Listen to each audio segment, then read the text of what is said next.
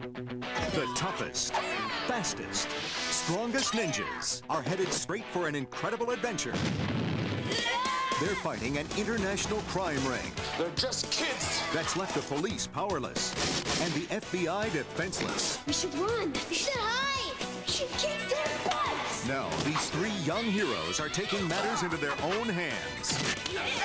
Three Ninjas, rated PG, parental guidance suggested. Now playing at a theater near you.